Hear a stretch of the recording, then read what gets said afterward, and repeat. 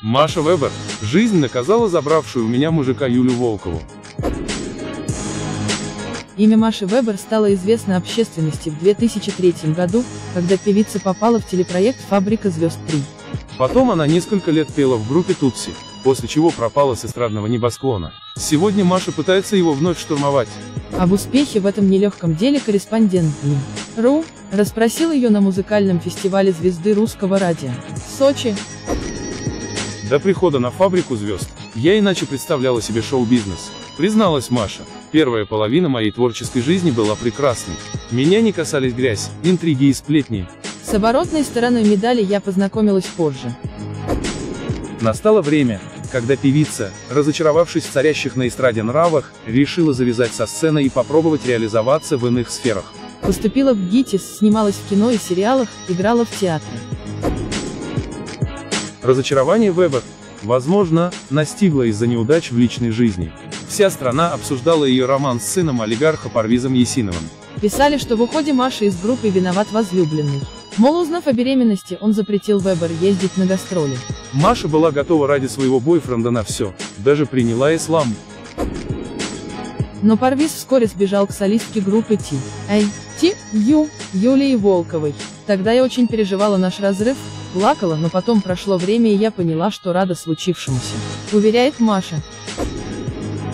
Хочу через шокирующие новости сказать Юле спасибо за то, что увела мужика.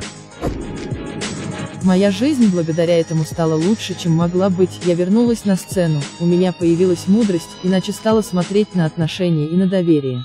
Повзрослела просто. Уверяет Вебер. С самой Юлей после всей этой истории я, конечно, виделась, но мы не здороваемся. Хотя вцепиться ей в лицо ногтями тоже не хотела. Вина в случившемся не на ней, а на мужчине, думаю. К тому же, в итоге все обернулось бумерангом.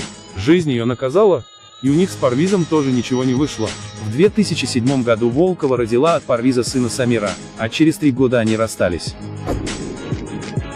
Интересно, что сегодня Маша общается с бывшим мужем и его семьей.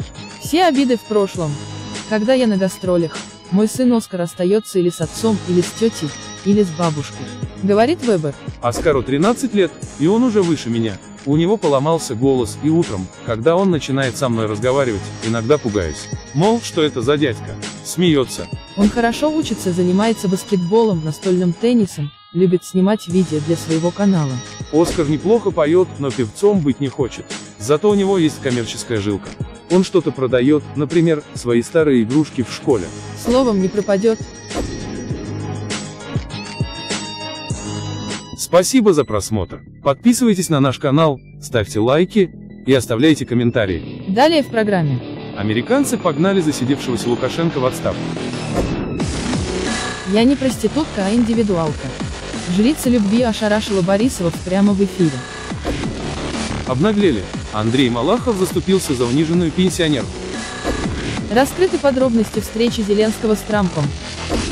Вы хотите ребенка, а он нет. Корчевникова возмутила безразличие Ефремова к беременности возлюбленной.